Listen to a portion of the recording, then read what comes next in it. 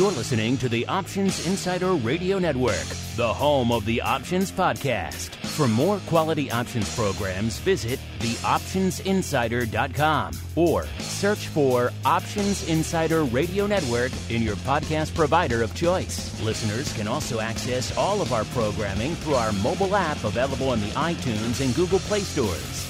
Select programs are also available via live stream at mixlr.com slash options dash insider. That's M-I-X-L-R dot com slash options dash insider. Don't forget to follow along with your favorite programs and submit your own questions for the hosts at twitter.com slash options, stocktwits.com slash options, facebook.com slash the options insider, or via questions at theoptionsinsider.com.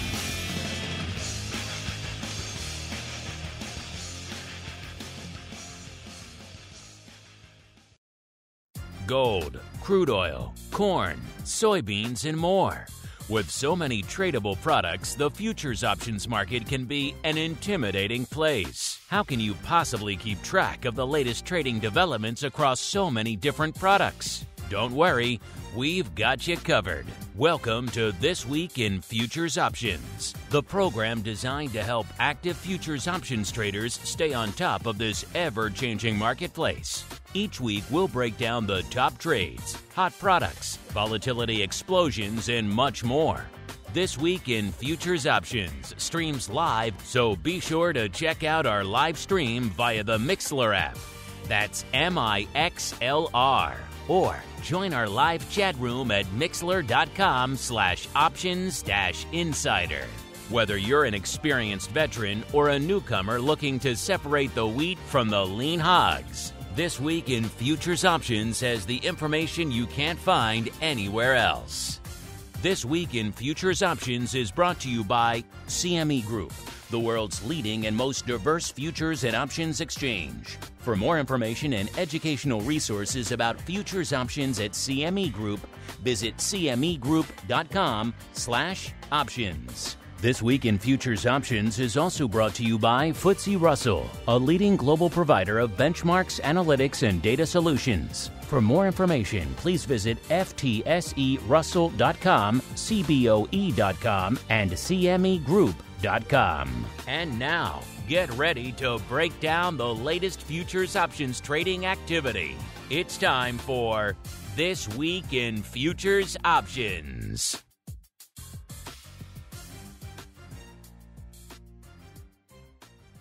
All right, everybody. That music means it is time once again to break down the wild world of futures options. Yes, it is time for TWIFO.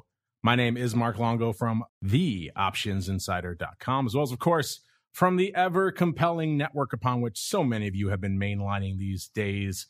Of course, if you're listening on demand, all we ask is that you keep rating and reviewing. There are so many new people discovering not just the world of options these days, but the, of course, the world of futures options, you know, commodities, everything are in the headlines just about every day out there. So more and more people are becoming aware and interested in these markets. So if you like what you hear, keep rating and reviewing. It does help all those new discoverers of these markets find a path to our door. Of course, if you want to go above and beyond, join us for our exclusive shows like Options Oddities every Friday and the Pro Q&A sessions every Tuesday. Got a double dose of those coming up for you next week, as well as our giveaways. And of course, join us live for this show, everything else we do throughout the week. TheOptionsInsider.com slash pro is the place to go to learn more. And let's see who's joining us in the CME and FTSE Russell hot seat today. I'm pleased to be joined once again by Mr. Tim McCourt, the managing director and global head of equity products over there at CME, because that usually means he's got some cool new products in his hot little hands. Mr. Tim, welcome back to TWIFO, sir. It's been, oh, about a month. Yeah, great to be here. Uh, always looking forward to our conversation and, you know, glad to keep the trend uh, continuing of being on here with new products. You know, that's our, that's our that's our thing here on TWIFO. You know, you got I got a bit of a bone to pick with you. The last time you were on, I was kind of pressing you about some new crypto stuff, and you were you were hemming and hawing, and then like the next day, I see the announcement from CME, and I was curse you, Tim couldn't yeah. tell us on the show. So you're being cagey with me. We'll see if I can get some more out of you as we keep on rolling. It is time for the movers and shakers report. It's time to find out what's rallying on the light side and falling to the dark side at CME Group this week. It's time for the Movers and Shakers Report. All right, everybody, welcome to the Movers and Shakers, the portion of the show we break down everything lighting it up to the light side, aka the upside, and to the dark side this week at CME, which is a broad swath of products. You guys can find this report for yourselves if you follow CME of course, on Twitter, they tweeted out. We also tweeted out at options right before showtime. So you can see this report for yourselves every week. Mr. Tim, you know what I'm going to ask you next. Where should we begin our journey this week? To the light side or to the dark side? Uh, you know, let, us go with the dark side today. Oh, feeling a little dark side in you this week. All right. I can get behind that. so I usually choose dark side myself the few times I get a chance to choose. All right. To the dark side we go, listeners. And uh, number five on the dark side this week, our old friend, the Russell 2000, coming in at 6.35% to the dark side. That's, that's quite the week out there.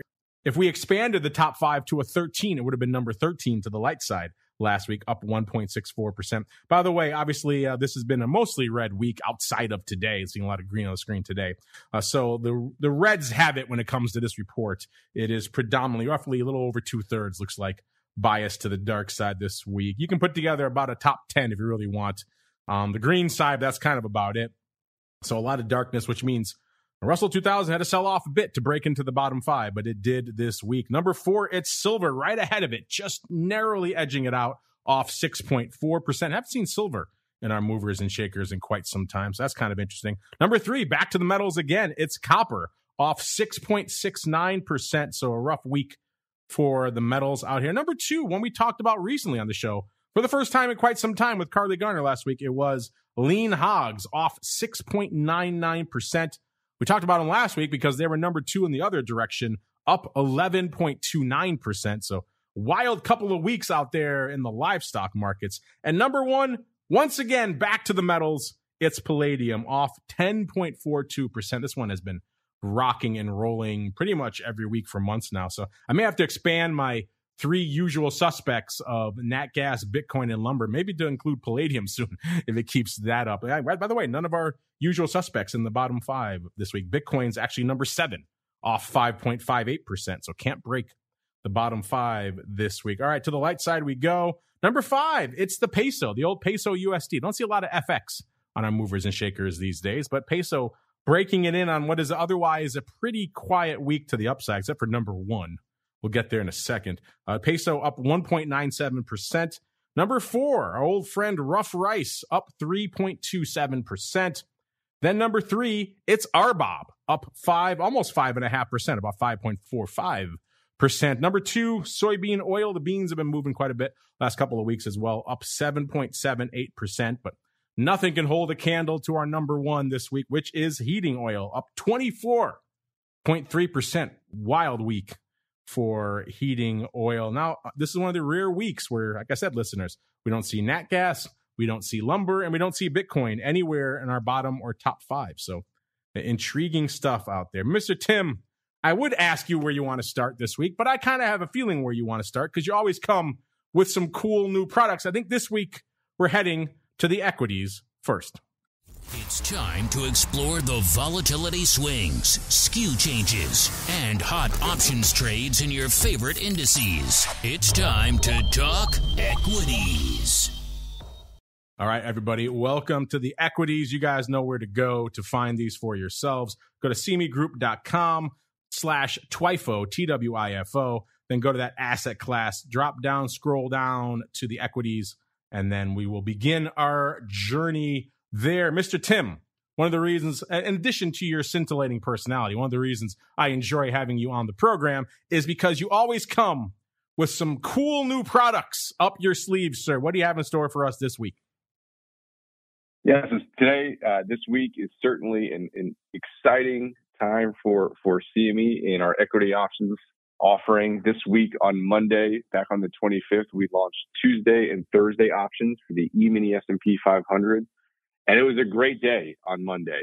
When we look at how these products were received by the market, over 79,000 contracts of the Tuesday expiry traded on Monday, establishing a little over 76 76,000 contracts of open interest, which made the launch of the Tuesday E-mini options for S&P 500 the most successful options launch in CME Group's history, which is phenomenal. Uh, you know, we talk about, we've talked on the show before, Mark, that product launches are exciting, but sometimes launching options market can be a bit of a challenge given just the, the quoting bandwidth, the technology, everything that goes into quoting all those strikes and all the permutations of puts and calls. It just takes more. Uh, but to have this market stand up like it did on day one, have the market uh, embrace it and continue to trade from there, it's been a really great thing to see. And what's interesting is the trend continues. You know, when we look at yesterday's volume for today's, you know, the Thursday expiring options, almost 95,000 Thursday options traded yesterday and about 18, 19,000 of the Tuesday options traded yesterday. So it's also a very interesting to see as the as the week kind of advances in time. You're now seeing that that investment thesis prove out if people are kind of rolling forward throughout the week. Tuesdays were popular, front half of the week. Thursday is hyper popular yesterday or Wednesday. And now, you know, tomorrow we're moving to Fridays and then Mondays. So we're really seeing people take advantage of the short dated expiries and off to a great start here for Tuesday and Thursday options at CME. You certainly picked an interesting week to launch the other days of the week here, Tim. Got some action, you know. It's not like you launched them in the dog days of August and nothing's happening, sir. You picked a an intriguing week, sir. Were you excited by that? You think that's going to drive some people in? Were you maybe a little bit nervous? As you mentioned, these are new products. Got to make sure all the I's are dotted and T's are crossed, and the equity markets are just melting down before your eyes while you're launching them. Yeah, you know, it's always a good question because it could either be helpful or hurtful, right? Sometimes when there's so much going on in the market, your liquidity providers are focusing on managing existing risk, not necessarily committing to a new product on day one or mass quoting across the entirety of, of the of the vol curve for, for that given maturity.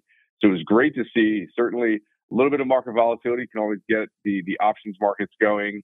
Uh, so certainly was a great backdrop to launch into, where people were reminded of the precision that shorter dated options offer when managing risk, and it gave people a new tool in the toolbox if they wanted to deploy new trading strategies Maybe they wanted to be a bit a bit more judicious with the the theta they were going to pay for their their option exposure.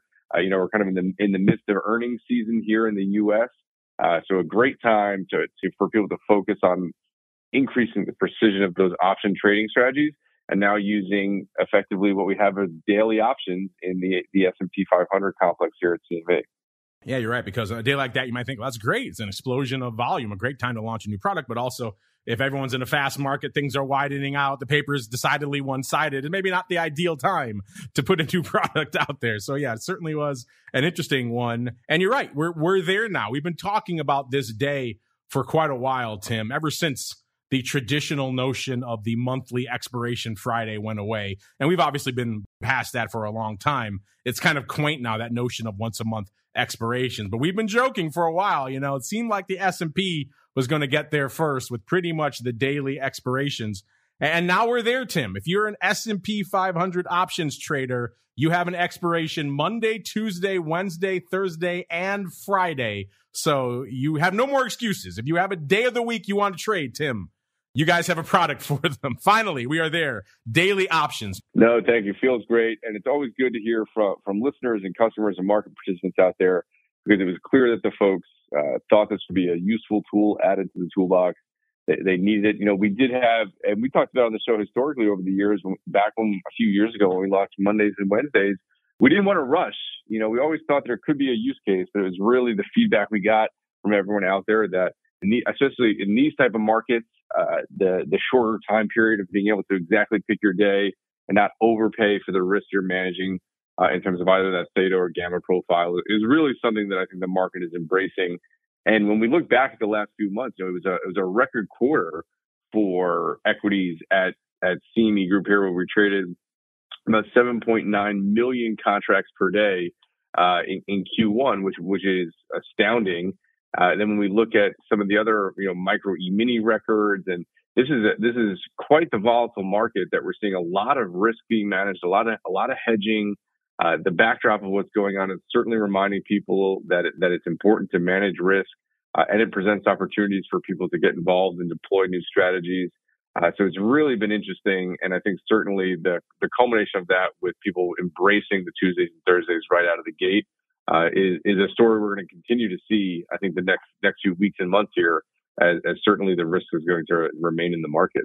Well, that certainly seems to be the case. You know, whether you buy into today's rally or not, we have a great question about that right now, listeners. Get on over there to add options. We're asking you: Does this rally have legs, or are you buying in here, or is this just a dead cat bounce? This only has less than an hour left. This is going to run the length of the show. This is a flash poll, so get in there now. Right now, it's like 72.2% leaning towards the dead cat bounce route, 27.8% saying, yes, this rally has legs. Again, you got a little under an hour to get in there and make your voice heard. But Tim, you know, we talked about, you know, having an expiration every day of the week. And that, besides just being a good soundbite, it opens up some interesting options, pun intended. You know, back in the past when we had monthly expirations. You could trade between the months, and that was kind of it. Then we added weeklies, and so now you could do weekly calendars. But having daily expirations opens up a lot of interesting strategies that really weren't viable before. You could trade, let's say you want to do a spread before and after the day of a Fed announcement. You know, you could do that now. So I know it's early days. You only have a few days behind us and it's kind of a bit of an aberrant week, but are you starting to see that kind of paper creep in where people are spreading between the days themselves?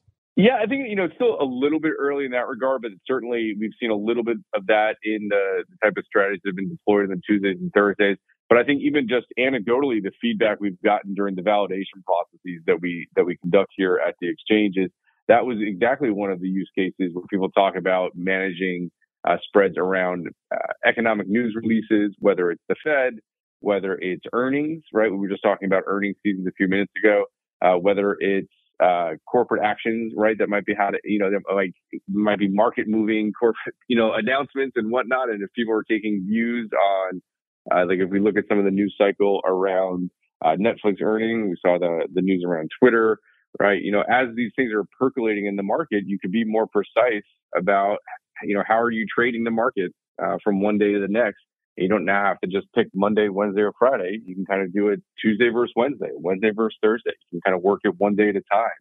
Uh, if you if you think something might be happening or you're looking for protection or hedging, these are all great things to do. Uh, and and now you know I think what what's interesting is we'll see what what clients and customers and all the listeners out there come up with. I mean, they certainly always cobble together interesting strategies. So uh, in a few weeks' time, we'll be able to say what's the most popular strategy for Tuesday and Thursday. I'm excited to see what that is. And I'm sure, Tim, it was no coincidence that you have these live, oh, a week before the Fed announcement, the next Fed announcement, probably a day when people might want to do a little intra week trading. Was that part of the plan all along or just a bit of a happy accident? You know, perhaps, you know, you might be onto something. Typically, when we're launching uh, products here at CME, I want to make sure we give them as much chance of success as possible. And you know, introducing options or products before people need them is a tried and tested strategy for success uh, of our product launches here at CME. Uh, so yeah, we definitely wanted to get it out while earnings season was still happening, uh, and certainly before some of the, the macro policy and the Fed stuff might might, might be creeping into the market uh, later later uh, later this month. I often find it's better to give people things before they need them than after. That's uh, yes. usually a better a better policy. well, speaking of how people need things, we mentioned uh, some need and some action out there in the Russell 2000 this week. In fact, it's in our dark side at number five, off 6.35 percent. So let's sink our teeth in there first. Right now, listeners, you guys go to that same drop down Go down to equity indices, US index mini, then go down to the Russell 2000. You'll see a pretty active week closing in on 30,000 contracts. Right now, we're at about a 1917 in the Russell 2000 coming into showtime. So that's off about 21, almost 22 points, about 1.12% just this week. Of course, you expand that to last week's show. That's where you get that six and a third percent move to the dark side, back below the 2000 level again, which is a, a psychologically important level. I know a lot of people like to watch out there. It is an equity, so as is usually the case, about 30% of the volume going out tomorrow. uh, looks like 19 half calls are all the rage. Those were not small delta a day or two ago, getting pretty small now. Those are pretty active this week. Let's go a little bit farther out so we can sink our teeth into a little bit contract a little bit more meat on the bone here, listeners. Let's go to the week three a May contract that has 22 days to go.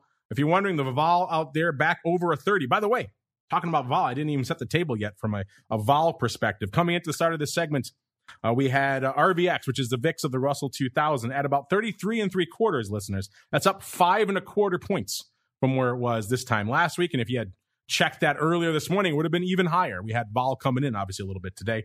Uh, VIX cash was at about a 28 and a half when we kicked off the show. That puts it up about six and three quarters points from where it was this time last week. VVIX, aka the vol of vol, at about 115 and a half. That puts it up six and a quarter points. So vol staying pretty frothy out there. Vol Q, so the at the money vol of the Nasdaq, aka the I used to say one of the newest, now now one of the many tradable products over there uh, from a vol perspective at CME, 31 and a quarter. That's up about five points from this time last week. So Nasdaq vol obviously pretty frothy. That puts that VIX to RVX, so that large cap to small cap vol spread at about five and a quarter points, listeners. That's about one and a half points tighter. So that has come in uh, quite a bit. And the VIX to vol Q, so that Nasdaq to S&P 500 vol spread, two and three quarters points. That's surprisingly tight. That's three over three and a half, about 3.65 points tighter than it was this time last week. So both of those spreads coming in quite a bit over the course of this past week. Back out to the Russell 2000 listeners, and you said the RVX is at about a 33, almost 34. We're seeing similar levels in the week three May contract. That vol almost a 31, about 30 and three quarters, up about a quarter of a point right now. Uh, skew wise, last week the puts were 14.5% bid. This week it's 13.2%. So the puts coming in a little bit. I guess, you know, that makes sense as we've gone down the skew curve a little bit. Expect some of those some of those strikes to come in a little bit. The calls last week, 11.9% cheap. This week, even cheaper, 13.8% cheap. So once again, you guys always ask about the small delta calls in the Russell 2000. If you're interested in them, 2170s in week three May were also trading quite a bit this week. Uh, they're getting cheaper this week than they were last week, so that may be intriguing for you. It's all looks like it's all out of the money calls. 2100 calls trading quite a bit in the regular monthly May contract as well. So that's kind of where we're we see a lot of action. Looking, have to look pretty far to find some puts. It's like 17 half puts week two May going out in about 15 days. Did a little bit of action this week as well, listener. But yeah, it's mostly calls 19 halves, 2170s, 2100s. We're kind of leading the dance across the board. Mr. Tim, before we roll on out of equities, anything else you want to leave with our audience sir, on the equities front? No, you know, I think uh, just just what you were reminding me about when you're talking about the Russell 2000 there. A few things for folks to keep in mind is, you know, when we look at the Russell 2000, those options on futures continuing uh, to grow in, u- in utilization here at CME. They're up about 35% versus last year, doing almost 9,000 contracts per day. Uh, and I just remind people to keep, you know, about two, we're about two months out from the Russell Recon. That's going to be here before we know it. It's always a big event uh, for the Russell trading community. So just want to remind everyone to start doing their homework on, on the Russell Recon. Uh, and then same thing with NASDAQ. You know, this is something we've been talking about, though, that index choice matters is the theme here uh, at CME the, la- the last few years. And certainly that, that reigns true with, with volatility, Mark, as you were just talking about. And NASDAQ options on futures are, are also uh, up about 40% versus last year. And we did just introduce the Mondays and Wednesdays in both the NASDAQ and Russell. So again, just reminding people that use, use those short dated options as best you can. They're a great risk management tool. Uh, and as we head into, uh, you know, into May here, which is hard to believe it's almost already May, uh, we think that this index choice matters theme is going to, going to continue, going to persist and, you know, don't just stick to the S&P, uh, get out there and get involved in all the indices, uh, and keep everything uh, in mind for that, the big Russell recon, which will be here before we know it. Yeah, it's hard to believe we're already talking about recon again. It's, it's, it's crazy, yeah. but that's where we are in the year. You know where else we are in the show, listeners? It's that time to break out a segment we don't get to talk about a lot, but we I like when Tim joins us because we do. It is time to talk about some crypto. It's time to explore the volatile world of Bitcoin, Ether, and more. It's time to talk about crypto. All right, everybody. Welcome to the crypto segment. You guys can find these for yourselves. They have their own section in the TWIFO dropdown listeners. Go right out back to that asset class and go into cryptocurrencies. You'll see the indexes, the main ones. So the big products. And then you also find the micros in there, which Mr. Tim, the last time you joined us, a little over a month ago, March 24th, was right to coincide with the launch of said micro Bitcoin and micro ETH options. We've got about a month under our belts now. What are your thoughts on the early days of trading here in these new micro options, sir? Yes, you know, I think it's actually just about a month to the day. Uh, they launched back on March 28th. Uh, just as a reminder to everyone out there, the micro-sized Bitcoin and Ether options are one tenth of their respective tokens. These are options on the micro-sized Bitcoin and Ether futures. These are a great tool for those sophisticated active individual traders out there looking for ways to, to hedge exposures or maybe some of the cryptocurrency that they have in their in their portfolio or just looking to deploy uh, individual crypto trading strategies on our options. Uh, and it's been a great first four four or so weeks. We've traded over 40,000 contracts. Uh, OI has been averaging about 28 to 30,000 uh, in the micro crypto options. We're seeing both Bitcoin and Ether trade, which is great. Uh, the one thing that, that to note is interestingly, uh, micro Ether options doing a little bit better uh, than Bitcoin, but I think that's that kind of harks back to I think Mark a theme that you and I have talked about before that uh, the crowd out there I think likes to trade Ether a little bit more than Bitcoin. Uh, so with some of the volatility going on, Ether seems to maybe be doing uh, a little bit more volume than than Bitcoin. I think we're seeing that in the option option space where micro Ether is doing over five thousand contracts per day uh, just about. So it's been great. You know, we're, we're really doing uh, all we can to make sure we're listening with customers, listening to the market. Uh, micro-sized crypto options are another example out there. Uh, but you know, we got we got ways to go. We got we got more we're doing to try and grow these products. And encourage people to check them out. But also a great start you know, you answered one of my questions. I was kind of wondering if ETH, the micro ETH, was going to resonate a little bit more with people out there, just from our own audience and and listening to the people on our crypto rundown show. It does seem like there is a strong contingent out there. You know, Bitcoin makes all the headlines, but in, in the crypto space, there are a lot of folks who are knee deep in the ETH world. So I was kind of wondering if ETH was going to take the volume crown, and it sounds like Tim, that is the case. The folks are are trading it up over there on micro ETH even more than the Bitcoin right now, sir. Yeah, so certainly we've seen early days that that tends to be the trend, but you know, I wouldn't count Bitcoin out just yet. You know, people people love uh, to trade Bitcoin. I think even though Bitcoin, you know, I would say plus or minus probably a little bit range bound these days, which is probably maybe taking some of the fun out there uh, for some folks who are looking to looking to trade it. Uh, but yeah, I think you know what we've seen historically is that some action uh, or price action in Bitcoin, we're starting to see people hedging with options, hedging with micro futures. Uh, but so I don't know if Ether's got it forever, but uh, you know, early days they've taken the pole position against their their micro crypto option siblings for Bitcoin. You heard it here first from Tim McCourt. CME has officially declared micro ETH the winner. Don't bother with the Bitcoin; it's all about the ETH. well, speaking of other of other products and other altcoin, Tim, I was giving you a hard time on the last show. I was like, "Come on, give us something, give us something." And no sooner did we pretty much turn off the machines last time, Tim and then the news breaks that you guys over there at CME adding 11 new cryptocurrency reference rates and real time indices. In fact, looks like they went out this week, April 25th. So you were holding out on me, Mr. Tim. You could have given us at least one, sir, just to tease us with one. It's like, it's just you and me chatting. There's nobody else, right? Just two guys talking. And you, you left me high and dry, sir. That's right. You know, uh, you know, I have to apologize, but you know, corporate, corporate communications does a good job of keep keeping the reins on. And yeah, they're not listening. It's just me and you show. talking. just two guys chatting. Yeah, and no, it's great. I mean, we're very excited. We've launched 11 new cryptocurrency benchmarks here at CME with our partner, uh, CF Benchmarks, and it's 11 reference rates, which are the once a day fixing, as well as the real time indices um, that that tick uh, second by second. So it's something that when we look at this is we're excited about. You know, we launched the New York reference rate version of Bitcoin and Ether back in February. And this week we started publishing 11 new rates. And, and just to kind of give people some color out there, you know, the, the 11 rates that we publish, they're, they're non-tradable products. They're, they're reference rates. They're regulated under the, the EU BMR regime. Uh, crypto facilities is the administrator CF benchmarks but they really are speaking to the 11 that we picked. So now that we've added them to the Bitcoin and Ether family of reference rates, uh, this really now gives us about 90% of the market cap of those cryptocurrencies that are that are really tradable. So you know, taking out the stable coins, the kind of meme coins and tokens that exist out there, this really represents 90% of those tokens that are tradable that have an underlying protocol uh, with some sort of utility.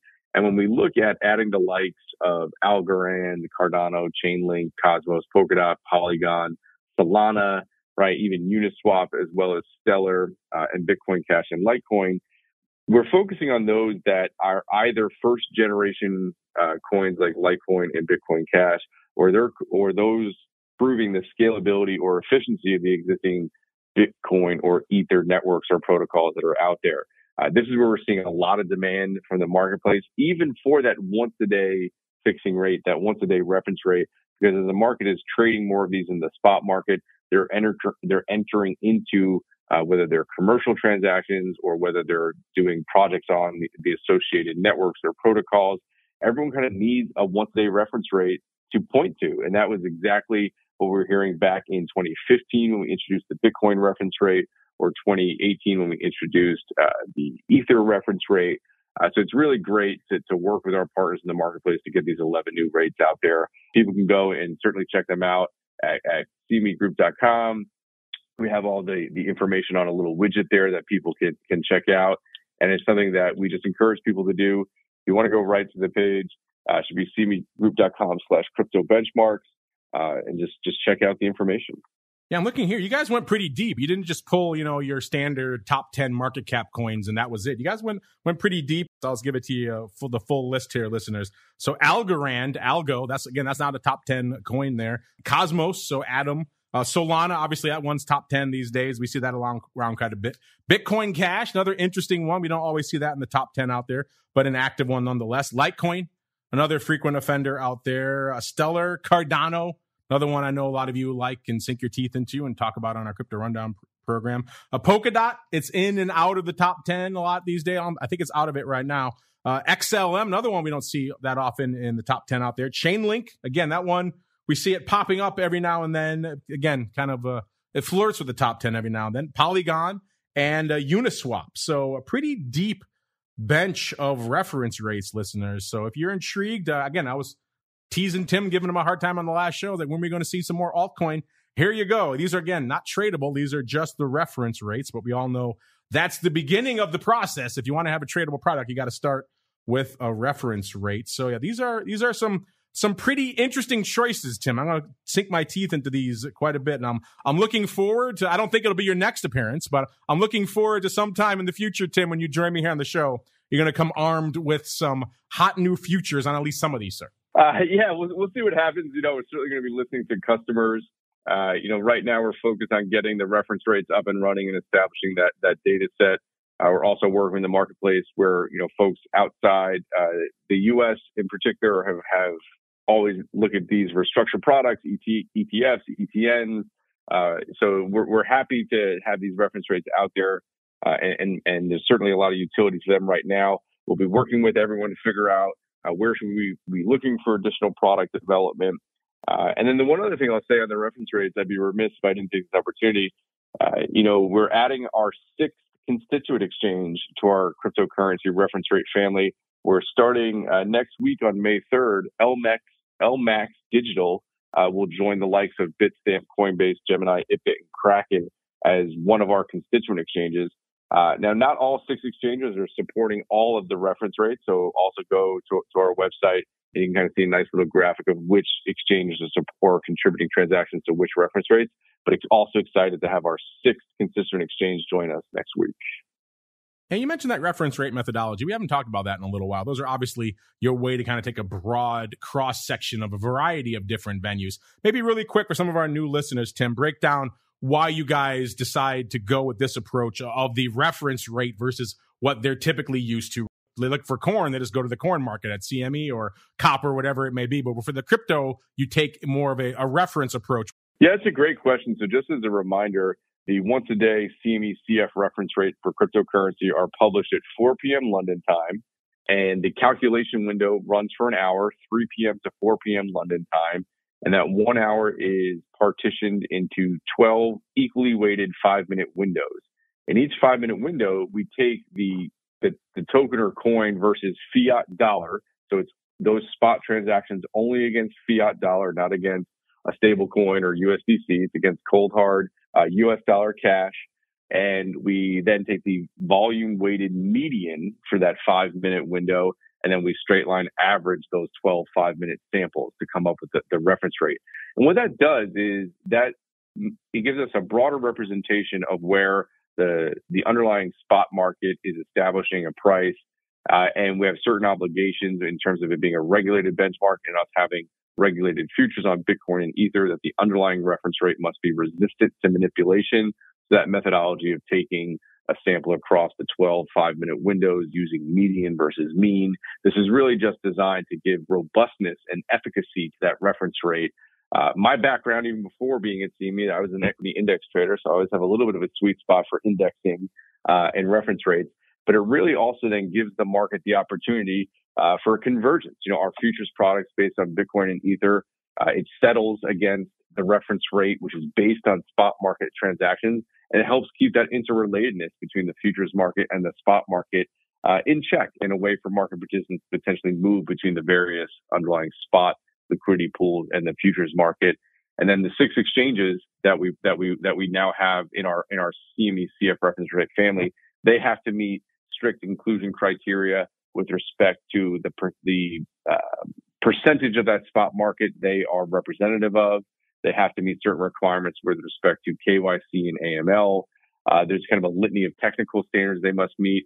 There's also kind of some really uh, rigor around the being included in these reference rates that really give a high degree of trust and transparency to what the once a day value of that underlying token or coin is. And same thing with the real time index, similar methodology, uh, but calculated on a second by second basis. Uh, so tremendous amount of thought and, and, rigor has gone into these reference rates and the market uh, has really embraced it for Bitcoin and Ether. Uh, and we really feel these are some of the preeminent cryptocurrency regulated benchmarks out there and really looking forward to see how people use the next 11 that we launched this week. I'm looking forward to it as well. Now, Tim, get a little bit of a break, get to rest your voice, have a beverage.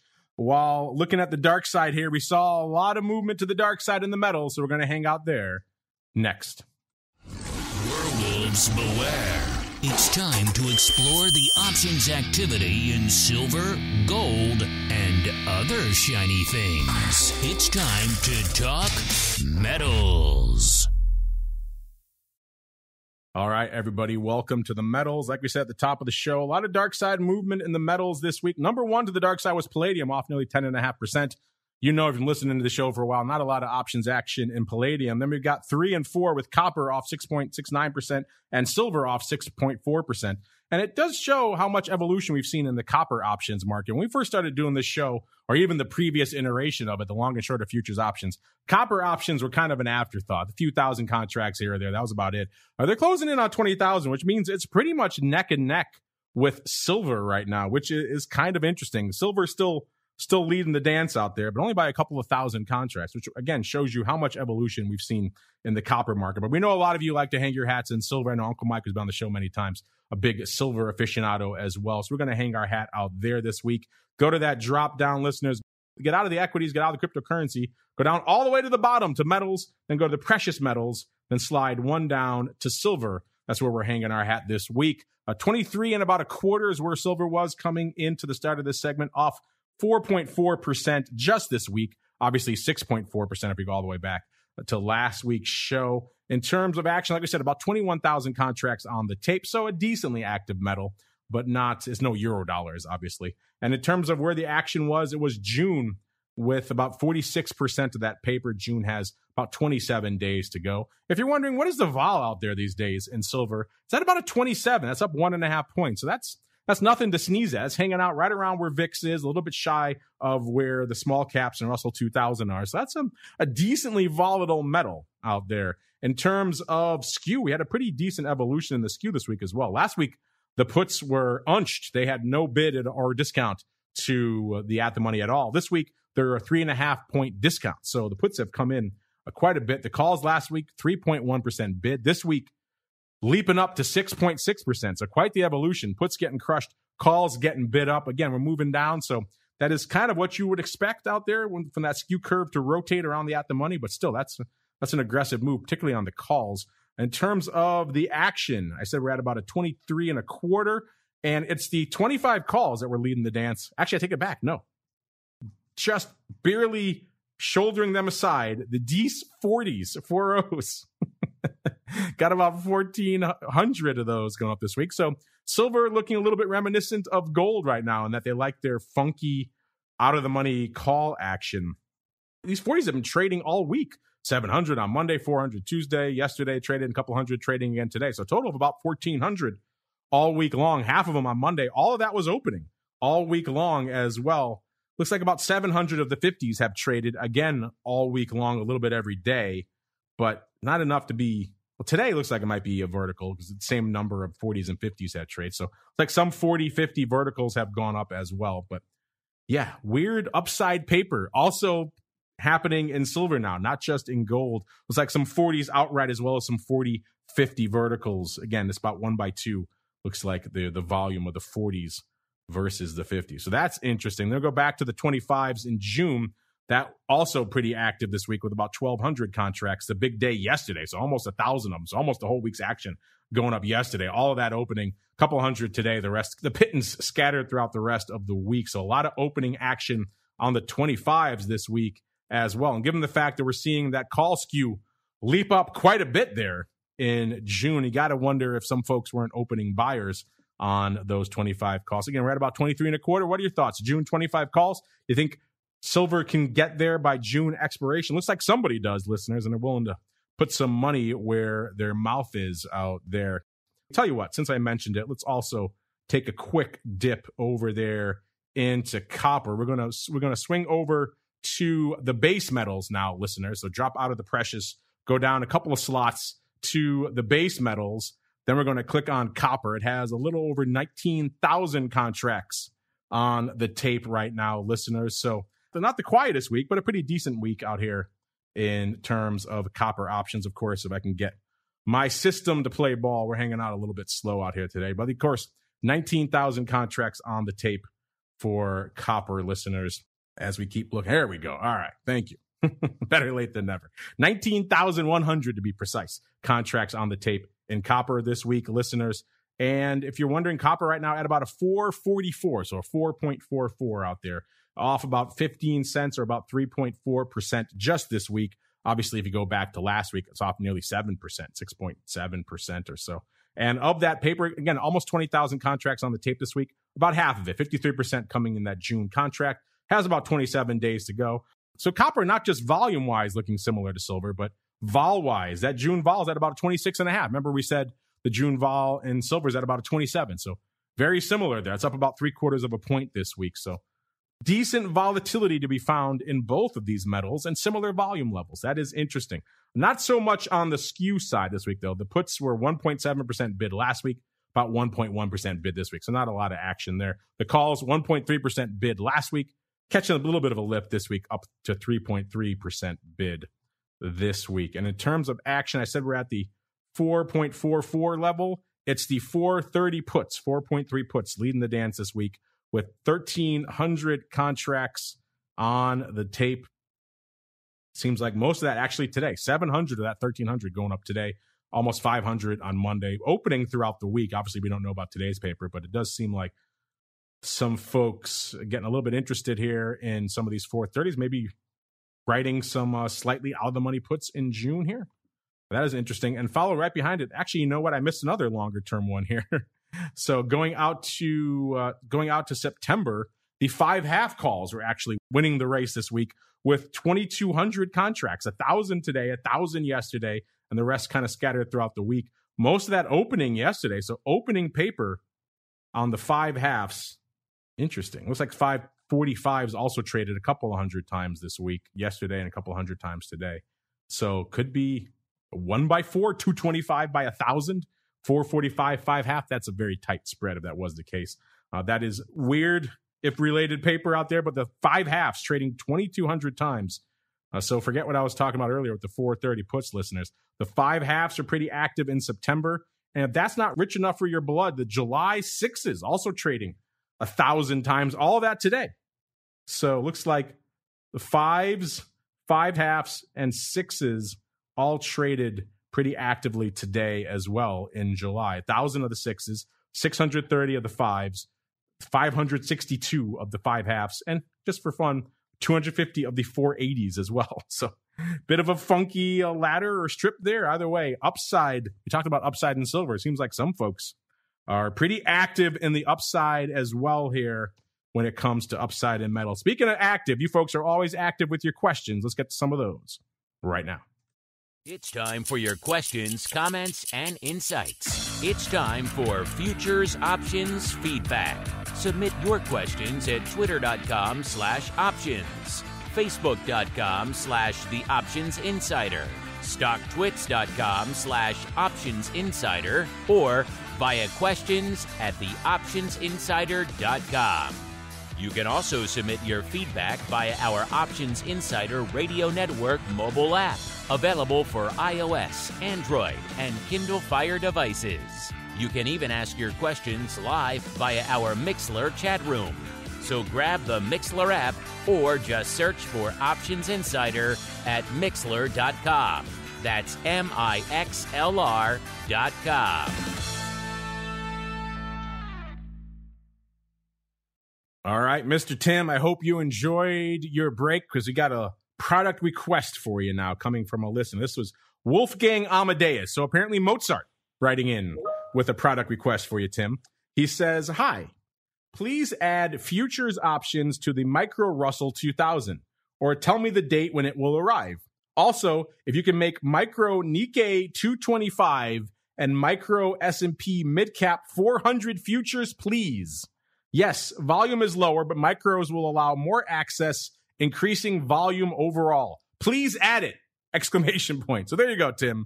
He's very polite, but he wants some new products. What do you say? He wants uh he wants micro options on the Russell 2000 as well as micro Nikkei and S&P midcap 400, sir.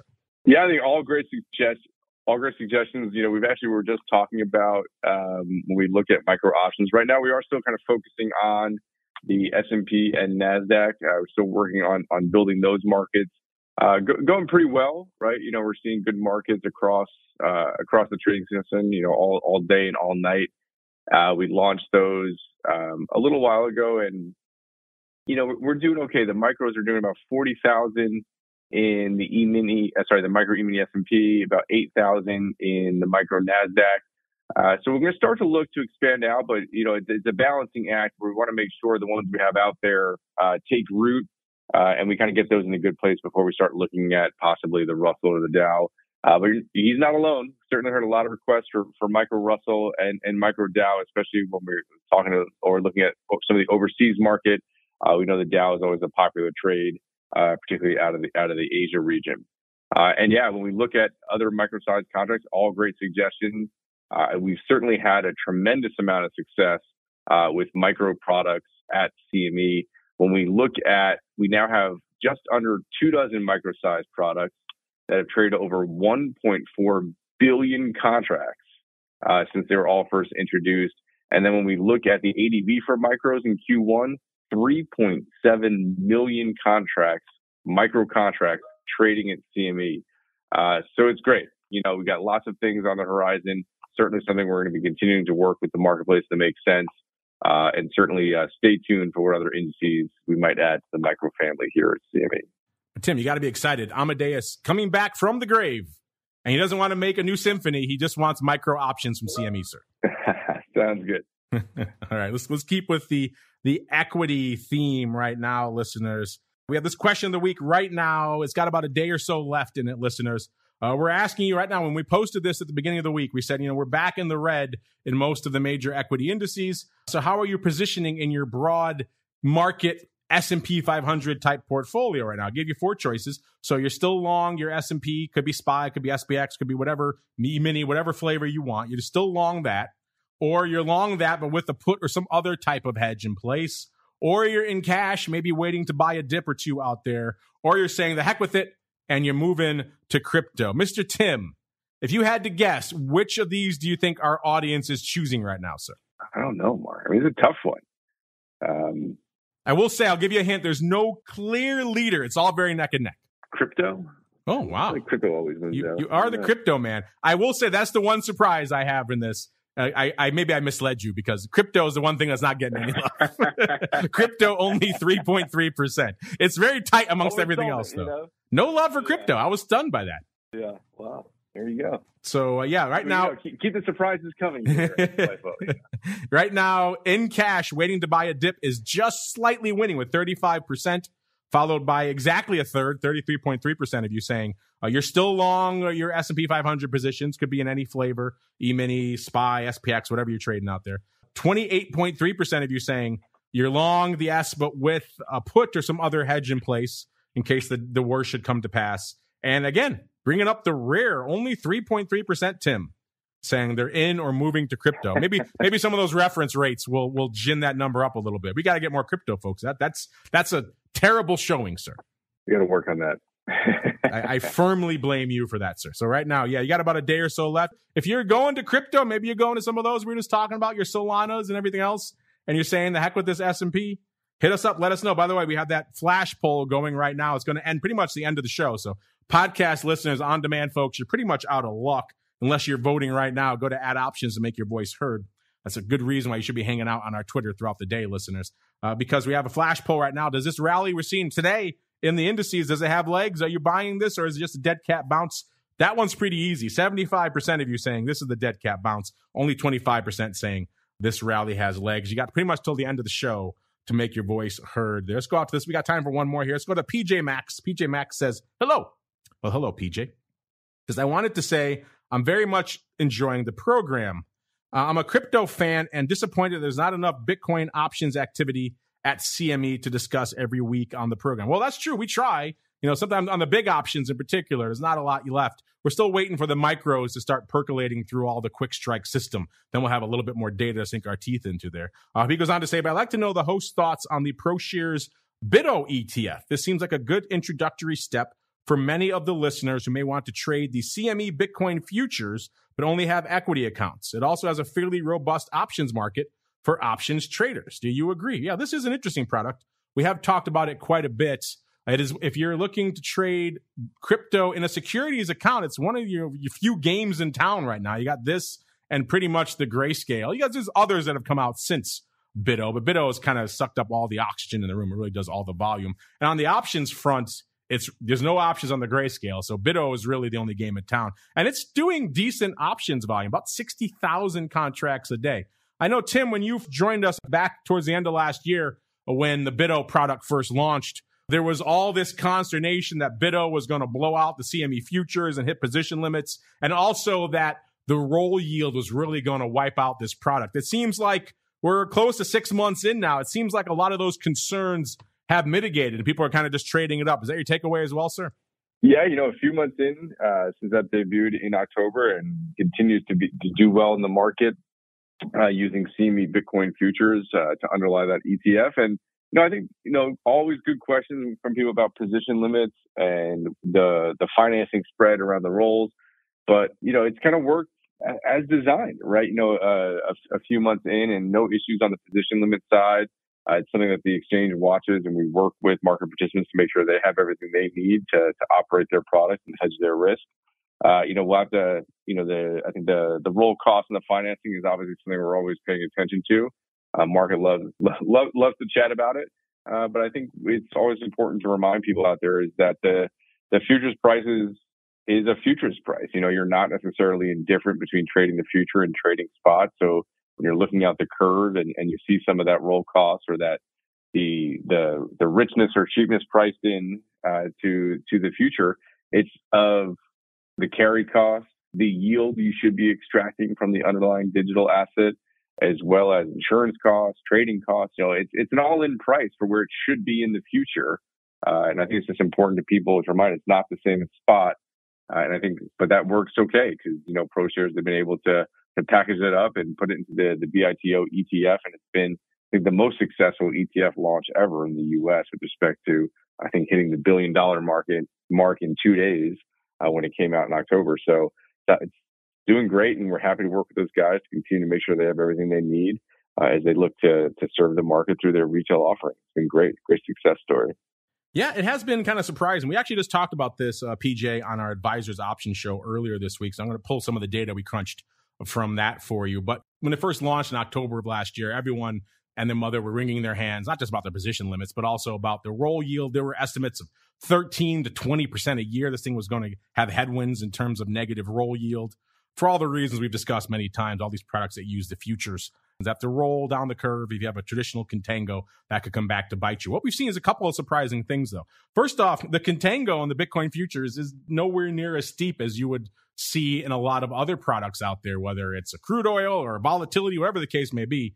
For a lot of reasons we talked about, you know, earlier this week, you know, there's that basis trade between uh, the spot and the futures. You could buy the spot on any venue, sell the futures, and it kind of crushes down a lot of that contango. So the slope isn't as steep, which is usually would come back to bite you as you're buying a, let's say, a two month out future and then selling it when it expires in that front month as you're rolling down that futures curve. The slope is not as steep, and that has translated into pretty decent tracking. We ran the numbers again earlier this week, and you know, depending on your frame of reference from launch to the end of March or from launch to end of last week, you know, did a pretty good job tracking Bitcoin. It was only off about one to one and a half, maybe 2%, depending on your frame of reference, which again, you're talking almost six months. We were talking 13 to maybe 20% people were expecting. So that's done a much better job of tracking Bitcoin than I think a lot of people expected. And the negative roll yield has been nowhere near as pronounced as people thought. And we had the ProShares folks on a couple of weeks after the ETF launched, and they came out and said they didn't think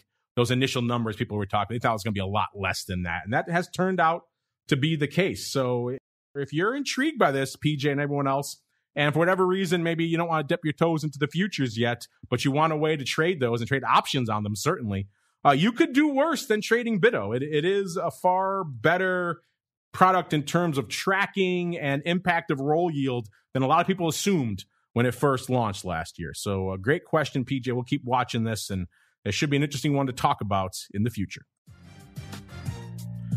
All right, that music means you have survived another episode, Mr. Tim. But before you go, I will give you one last chance. If there's any hints, any teases you want to leave our audience with in terms of cool new products from CME coming down the pikes, I don't see a release, maybe let's say tomorrow. About 15 cool new things that you're launching. If you want to get ahead of that now, sir, now is the time. The floor is yours. Oh uh, yeah, no, you know I don't want to ruin ruin the fun, Mark. So I got I got nothing else to break here today.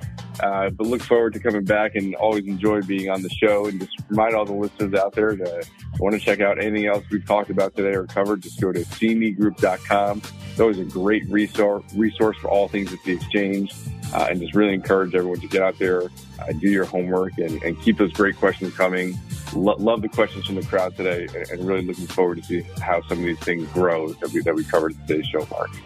Yes, head on over to CME Group. While you're there, CMEGroup.com slash TWIFO is the place you can go to get all the reports we talked about today and just about every other product under the sun over there at CME. So if there's something we didn't talk about today you want to analyze for yourself, CMEGroup.com slash TWIFO. Those are active all week long. So you don't have to worry about going at 2 a.m. as all the reports aren't on. They're always there, ready and waiting for you. And of course, you know where to go to learn more about all things small cap. Tim mentioned Russell Recon, not that far away, right around the corner, listeners. That's a pretty impactful event. You want to learn more about that, the impact of COVID. They have the whole COVID Impact Center, the impact on small caps, all the other stuff going on over there, volatility, everything else. FTSERussell.com, FTSERussell.com is the place to go. Give them a follow on the old Twitter as well, at FTSE Russell all one word. We have to get on out of here for today. Listen, that's going to conclude our broadcast day. Don't worry, we're back again tomorrow, noon central, 1 p.m. Eastern for volatility views. And for all you secret club kids, coming back 2 p.m. Central, 3 p.m. Eastern for options oddities. Going to break down the exciting week that was in terms of unusual options activity. So we'll see you there. And then, of course, back again next week, another episode of This Week in Futures Options. Stay safe out there, everybody. In Futures Options is brought to you by CME Group, the world's leading and most diverse futures and options exchange. CME Group's markets help individuals and businesses around the world manage risks and seize opportunities. CME Group offers the deepest and most liquid options on futures across all asset classes, including interest rates, equity indexes, foreign exchange, energy, agriculture, and metals. For more information and educational resources about futures options at CME Group, visit cmegroup.com/options. This Week in Futures Options is also brought to you by FTSE Russell, a leading global provider of benchmarks, analytics, and data solutions. Investors in the U.S. and around the world are using FTSE Russell indexes to benchmark their investment performance and create investment funds, ETFs, structured products, and index based derivatives. Many Options Insider Radio Network listeners will be familiar with the Russell 2000 Index. Russell 2000 futures and options are currently trading on the Chicago Board Options Exchange and CME Group. For more information, please visit ftserussell.com, cboe.com, and cmegroup.com. This broadcast is intended for informational and educational purposes only and does not constitute trading advice or the solicitation of purchases or sale of any futures or options. The rulebook of the applicable exchange should be consulted as the authoritative source on all current contract specifications.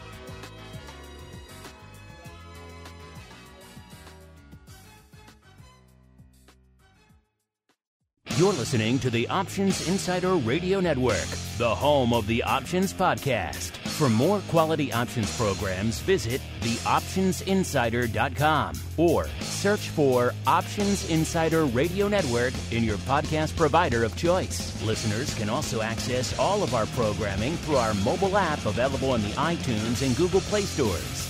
Select programs are also available via live stream at mixlr.com slash options dash insider. That's M-I-X-L-R dot com slash options dash insider. Don't forget to follow along with your favorite programs and submit your own questions for the hosts at twitter.com slash options, stocktwits.com slash options, facebook.com slash the options insider, or via questions at theoptionsinsider.com.